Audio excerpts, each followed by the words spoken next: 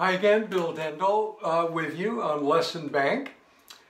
And I hope you've been uh, making good use of all the material that's available on Lesson Bank. If you look down below this video, you should see links to lots of other stuff to uh, enhance your development as a player of traditional jazz. I'm here today with the ninth video in my beginning improvisation series and we're going to address an interesting concept here called blue notes. Blue notes are the flat third and flat seventh of the scale. Now that gets interesting because the flat third also indicates a minor chord. There is a difference in the intention when you're playing it as a minor chord or when you're playing it as a blue note. Uh, I'm going to play an F major chord and now an F minor has a flat third.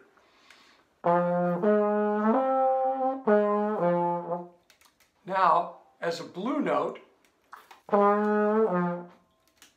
you don't stay on the A flat, you're kind of moving off of it.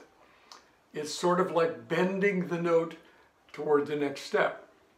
Uh, I think maybe the best way to illustrate it would be to uh, play our good old favorite When the Saints Go Marching In. And when I get to my, I'll play the melody the first time.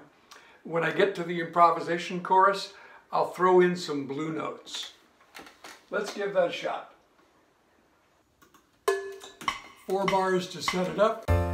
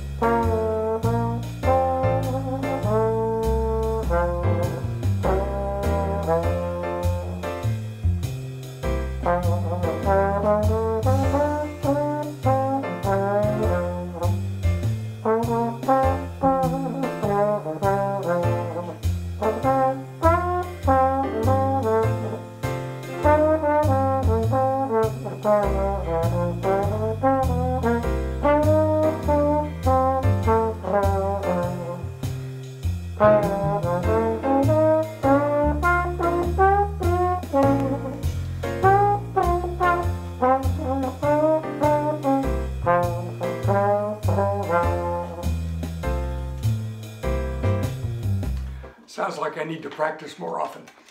Anyway, uh, that's how you throw it in. You give a kind of a bluesy sound. It doesn't have to be a blues song. You can use it in just about any song. In the key of F, with the F major chord, your blue notes are going to be A flat, which is the flat third, and E flat, which is the flat seventh. When you get to the C7 chord, your blue notes are E flat, which is the flat third, and B flat, which is the flat seventh. That's pretty much all you need to know. Anyway, for the moment, let's uh, let's lay down a couple of choruses for you to practice along with and try to throw in some blue notes. Ready? I'll play a little introduction on the banjo.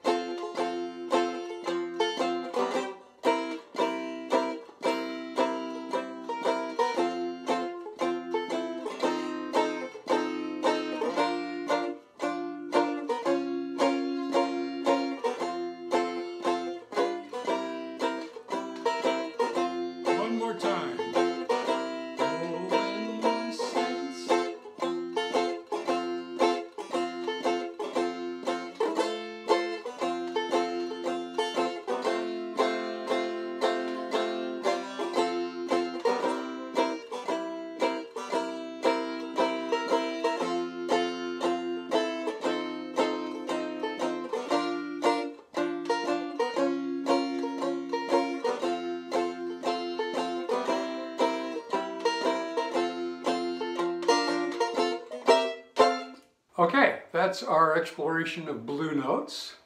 So give those a try. Uh, of course, you can play them in any song. Doesn't matter what it is, doesn't have to be a blues. But uh, flat third and flat seven. All right, uh, next time I see you, we'll have something new to discuss. Uh, for the moment, uh, all the beginning improvisation videos are there to review and revisit, along with all sorts of other great stuff on the lesson bank. So check below this video for the links to all the other good stuff that you can get your hands on. All right, and keep playing. Thank you very much.